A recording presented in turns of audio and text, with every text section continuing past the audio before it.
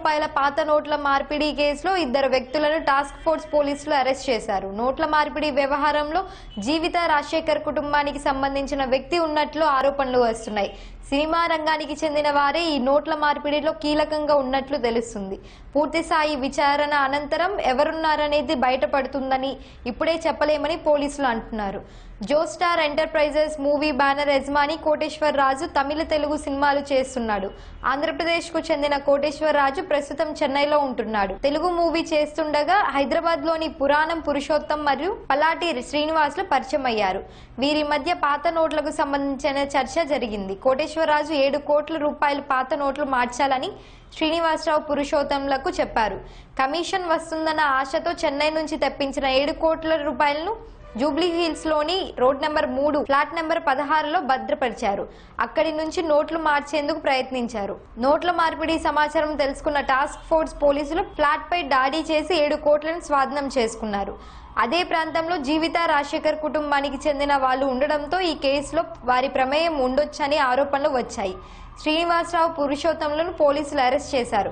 అయితే కోటేశ్వర రాజు పరారిలో ఉన్నాడని అతని పట్టుకుంటే ఈ కేసులో ఎవరెవరు ఉన్నారనేది తెలుస్తుందని టాస్క్ ఫోర్స్ డీజీపీ లింబారెడ్ చెప్పారు.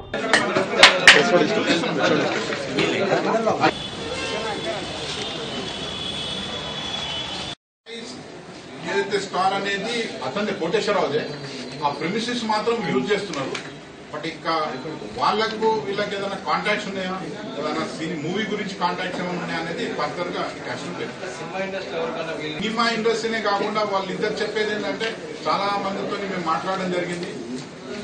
సినీ ఇండస్ట్రీస్లో మరి బయట కూడా.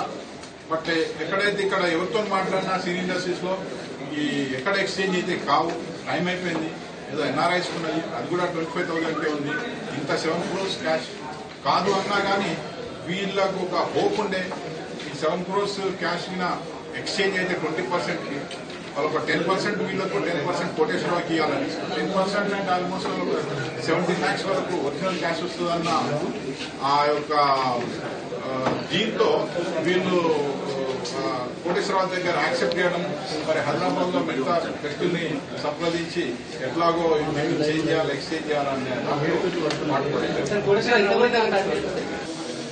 ఎగ్జామిన్ చేసిన మిగతా క్యాష్ ఎక్కడి నుంచి వచ్చింది ఎక్కడి నుంచి కలెక్ట్ చేశారు అనే ఫర్దర్ విషయాలు కూడా దీంట్లో తెలుస్తాయి. వీళ్ళిద్దరి పైన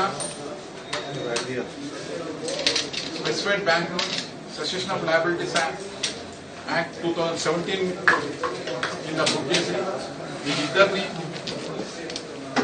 జూబ్లీస్ పోలీస్ స్టేషన్ ఇంట్రాగేషన్ మరియు ఇన్వెస్టిగేషన్ అట్లాగే హైదరాబాద్